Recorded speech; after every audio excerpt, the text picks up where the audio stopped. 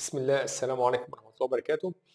اتفقنا إن إحنا نتعرف على ال dimensions ال dimensions اللي إحنا بن... اللي هي آه، وحدات القياس اللي بنقيس بيها الايه ال sizes بتاعة الحاجات أحجام الحاجات. ال dimensions ببساطة جدا في عندي كذا unit of measurements طبعا معروف جدا جدا إن هي الوحدة الأساسية للقياس هي البكسل خلينا واخدين قاعدة إن البكسل هو الأساس.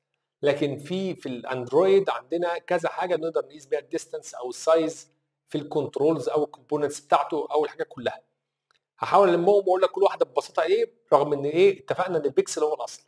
البكسل اللي هو ال dimension اسمه px دايما ده الطبيعي ده ده البكسل بتاعت ال hardware العادية جدا. وطبعا النقطة دي النقطة اللي بتبقى على الشاشة دي بتبقى على حسب طبعا ال resolution وحسب ال device والكلام ده كله. فدي بتختلف على حسب ال device ودقته. في منه بقى حاجة اسمها انش وحاجة اسمها mm ال inch اللي هو ال in ده ده ال inch وال mm اللي هو المليمتر. خلاص؟ الاثنين على حسب ال size بتاع ال screen. الاثنين دول الانشات والمليمتر ده بيبقى على حسب الايه دي طبعا معروف يمكن الأبعاد بتاعت الانشات والكلام ده بقت معروفة الفترة دي اللي هي مقصود بها قياس حجم ال screen. فبيتقاس بالنسبة لحجم ال screen. في حاجة اسمها ال pt اللي هي ال point خلاص ال point ديت هي 1 على 72 من الإنش.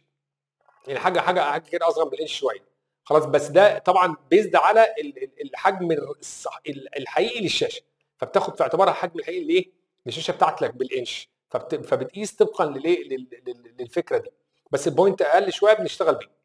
ال dip أو ال dp خلاص اللي هو ال density independent pixel فكرته كله إيه؟ إن ال1 dip الواحدة بتبقى بتبقى بيكسل في في في الشاشات اللي ال resolution بتاعها بيوصل 160 dpi. لو الشاشات بتاعت لو الشاشة السكرينه وصل ل 320 dpi ال screen هتبقى تقريبا ال dip هتبقى عاملة 2 بكسل كده تقريبا يعني. يعني بيحط في الاعتبار الايه نقدر نحط باعتبار ال resolution بتاع الشاشة عشان ما نقعدش نلخبط كتير هو الموضوع بسيط. إحنا دايما في الغالب هنقول أغلب الاستخدامات فيما بعد يعني. لكن خليني أقول لك يعني إيه بكسل قلنا يعني إيه انش أو مليمتر قلنا يعني إيه point وعرفنا ال dip أو ال dp اللي هي ال density independent إيه؟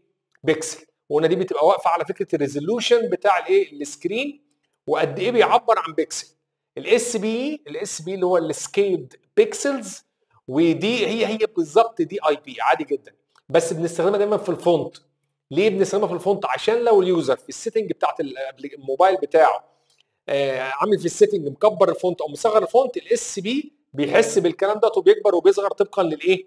طبقا لل preferences أو طبقا لل setting اللي عاملها ال user على الإيه؟ على العدة بتاعته. يبقى لو رجعنا لكله كله كله في الآخر يبقى عندنا بيكسل الأصل عندي الإنش على حسب حجم الشاشة والمليمتر وعندي ال point هو جزء يعني شوية في الإنشات عشان الإنش طبعا بيقول لي الموبايل بتاع 5 إنش مش معقول هقول لك ال point بالواحد وبالاثنين وثلاثه وأربعة خمسة يبقى خلاص كده الموبايل خلص فبناخد حاجة أقل منه اللي اسمها ال point اللي هي 1 على 72 وفي عندنا ال DIP وقلنا ال DIP ده بيشوف بقى ال resolution بتاع الشاشه وقلنا المثال بتاعته إيه وال SP هو هو ال DIP بس الفرق ان هو بيبقى بيشتغل مع ال fonts عشان لما يكون ال user عامل أي setting في ال fonts بتسمع معانا على طول في الايه في ال application دي كانت بسرعة ال dimensions اللي بنستخدمها دايما في الاندرويد والأبعاد وال sizes بتاعة ال controls وال components بتاعته.